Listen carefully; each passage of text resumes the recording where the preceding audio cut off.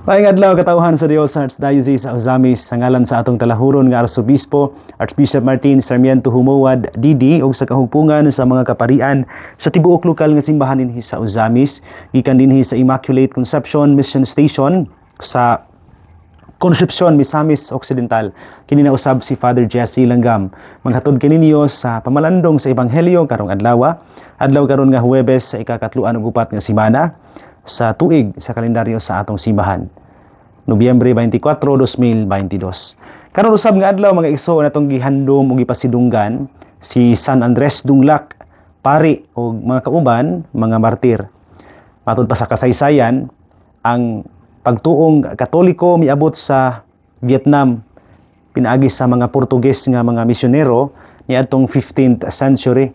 Pagka 19th century nahitabo kining usa ka makalilisa nga pagpanglutos batok sa mga Kristiyano, mga Katoliko ubos sa pagmando ni Min Mang no. Ug sulod sa unom ka dekada gatusan ka libo ka mga Kristiyano, mga Katoliko nga magtotoo ang gisakit o gipamatay lakip na ang mga misyonero.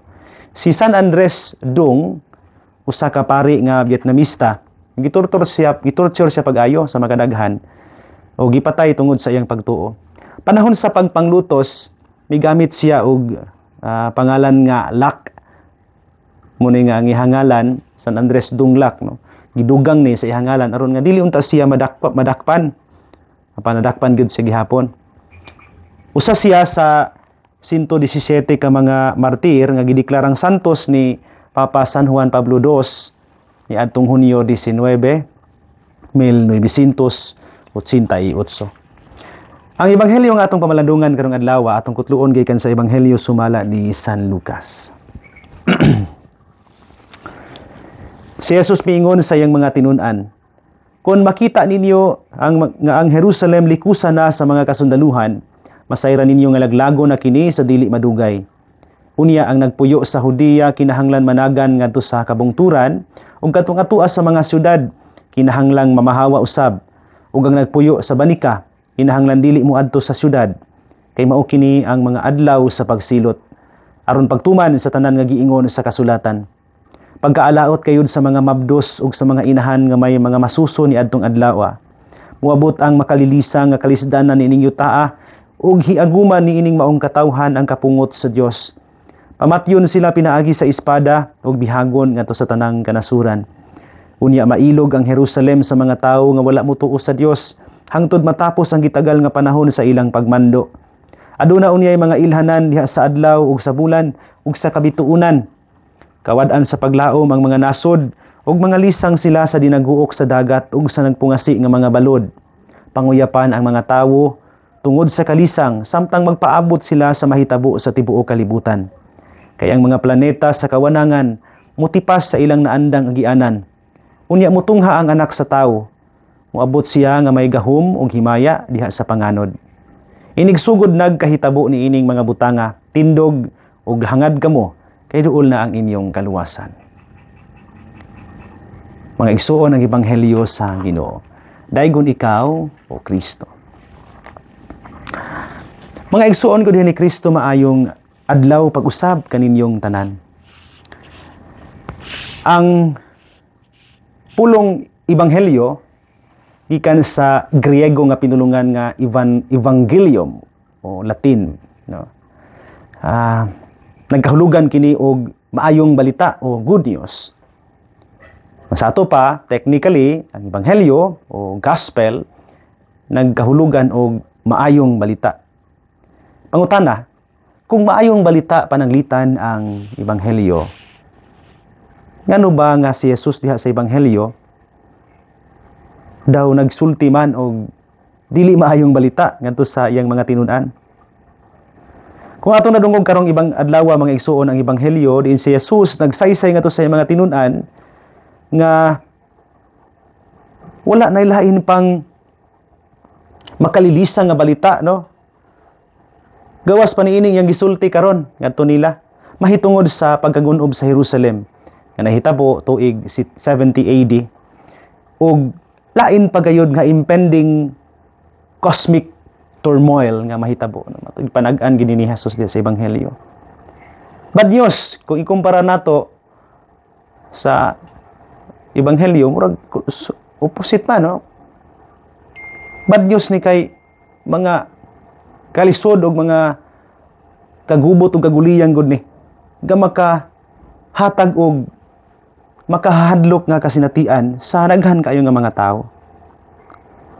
Karon tingali mga igsuon si Jesus mudugang tingali og duha nga to o tulo nga ka superpowers nga sana kanang nas kalibutan karon ba nga pwedeng mo mo unleash no sa ilahang nuclear arsenal no nga karon murag gikahadlukan na mga nasod ba no? Idugang tingali nagsulti ni Jesus tungod kay may mga nasod pud karon nga na na no kawas sa mutipas ang mga mga ang mga planeta. Ug uban pa nga gihisgutan ni Jesus dinhi. Iya pud tingaling inguna nga luna unyay gubat no? Ug uban pa nga makalilisa nga mga butang. Well gisulti niya ni gahapon sa ebanghelyo gahapon uh, sa atong Martes na mahitungod sa nasod nga makigubat sa laing nasod.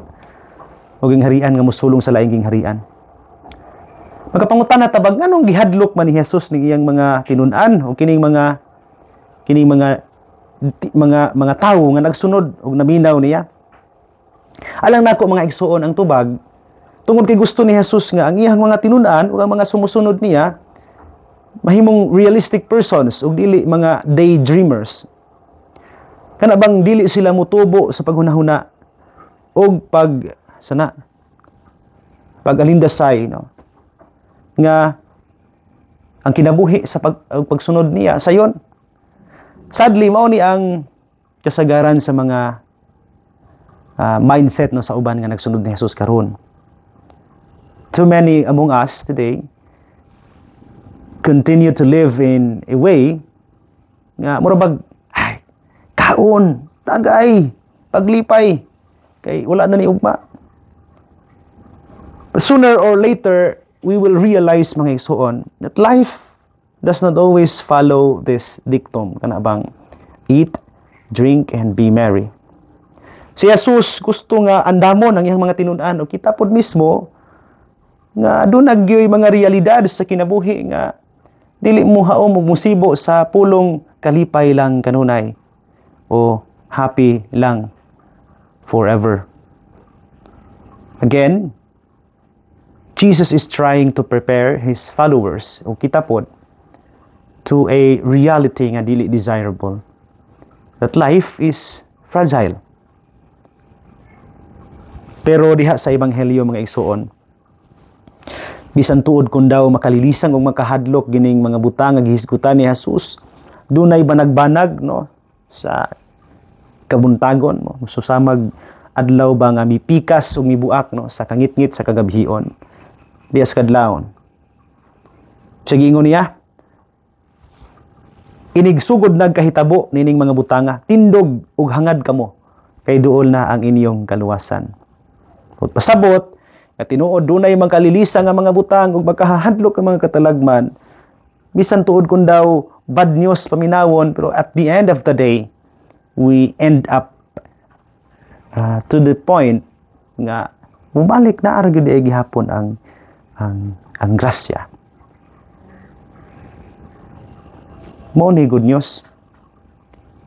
Bisan kun daw bad news paminawon, pero mao ni good news. Gitukod o gihimo ni Dios sa gihimo sa Dios ang tawo. Dili aron malaglag. Dili man katapusan ang kamatayon. Ang kamatayon moabot sa tawo dili pod magdala niya ngadto sa kawadon Mabitaw na nga ganahan kay koning usa sa mga prepasyon sa Christian funeral na ay nag-ingon diha no sa sa sa sa ni sa prepasyo? The sadness of death gives way to bright promise to a bright promise of immortality. Ang kaguol ug kasubo sa kamatayon naghatag og dalan alang sa kinabuhing dayon. Life is changed not ended, ang kinabuhi na usab apan wala gayud matapos. and we gain an everlasting dwelling place in heaven. Nakakutlo ta ug walay katapusang puloy-anan ngadto sa langit. Malikon ako mga igsuon. Daw sa, sa unang uh, tan-aw hadlok ta. Pero likod di ining mga makahahadlok ug makalilisa nga mga pulong ni Jesus mao ang tumong og tuyo niya aron ligunon ta kanunay adlaw-adlaw sa atong pagsunod niya. And we have to remember that after storm, there comes a rainbow. Human unya sa mga makalilisa nga mga butang atong masin masinati sa mga pagluto ug pagsulay nga atong masa, ma, mahayaguman musangko man ta sa kamatayon pero sa katapusan ang tumoy kaluwasan o ginabuhing dayon. Mga igsoon ini na lang ko kutob apan sa dili pa nako tapuson kining pamalandong tuguti una ako sa pagtunol sa akong timbaya sa tanan nga nagsunod nining atong programa uh, sa bisan asang dapit no nga maabot ta kung kining atong sibya. Kaninyong tanan, daghan kayong salamat ug maayong adlaw kaninyong tanan. Akong greetings labi na gyud sa mga suki natong tigpaminaw diha sa Uzamis no. Labi na sa Banyadero no nga halos halos tanan nagkatutok yun no sa sa ilang mga radyo, labi na panahon sa pamalandong no, namunduhan ni Archbishop Martino. Uh, kung greetings diha sa St. John Paul II College Seminary, atong seminaryo no, diha sa sa Banyadero.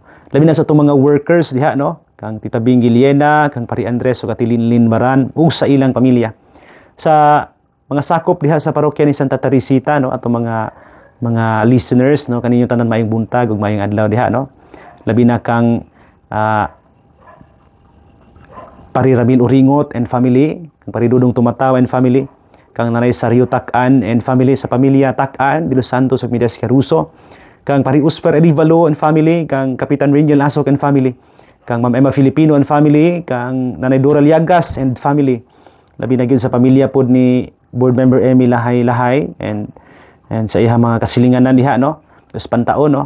Kang Ma'am Josie Lahay Lahay, Ma'am Juday Lahay Lahay, sa Lahay Lahay, Auman, uh, Lagat Hermoso family diha sa Pantaon kaniyong tanan mayong adlaw ug mayong buntag.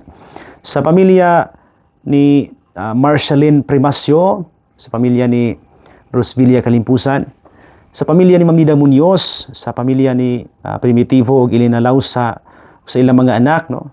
Kang Ma'am Jani, uh, kang uh, Ma'am Emma Tuba no sa iyang pamilya. Ang Richard Bation and family, no? kang Nanay Rosie Maghanoy and family sa pamilya uh, ah, Kanyete o Alfaro niya sa Bungbong.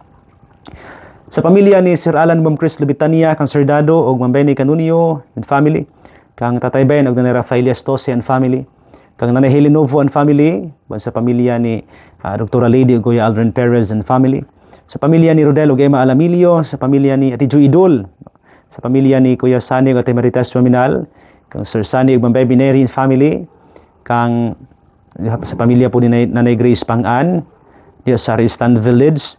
Sa pamilya ni Jose Igay no? Uh, may buntag niyo diha no? Kang Evelyn Parides and family no kang Tito Nick og Judge ning Pasitaka and family good morning yun diha. Tanan no salamat kay ninyo sa inyong kanunay nga pagpaminaw nining programa.